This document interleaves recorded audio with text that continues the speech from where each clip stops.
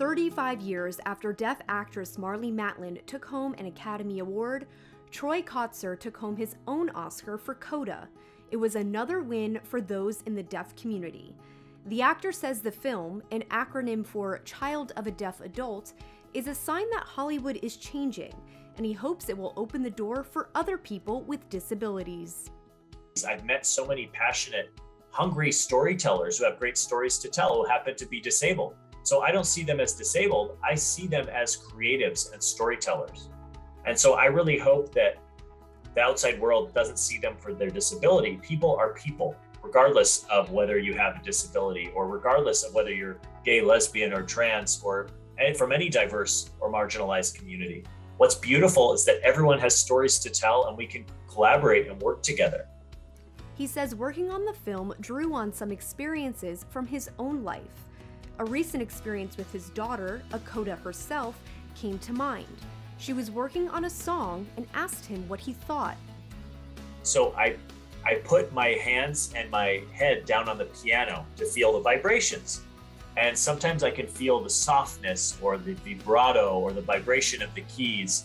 And then she played another song. It was a bit softer and tonally and emotionally it was different.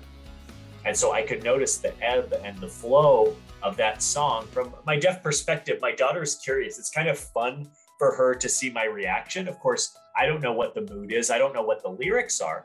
He says being a parent, whether hearing or deaf, doesn't change. After all, we're all just trying to connect with our children. There are so many parents who happen to have children who love music, and the deaf parents try and figure out a way to understand and connect to them and understand their passion. Jonathan Urquhart, whose father is deaf-blind, had a similar experience sharing his performances with his dad.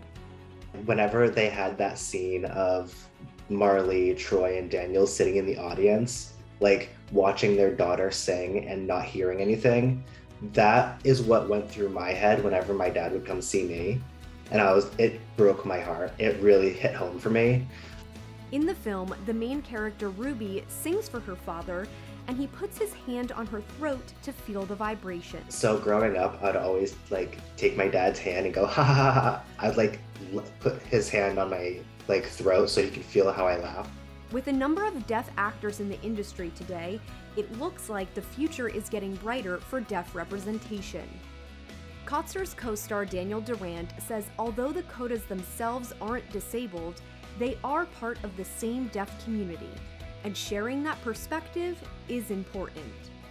So now we can continue coverage of this and keep hitting people with this information and raise awareness about us.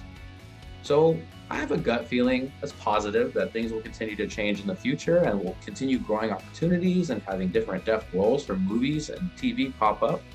Coda not only taught audiences about deafness and deaf culture, it gave real life Codas a chance to see themselves on screen. There's so many stories to tell. And so my real question is, is, is Hollywood ready?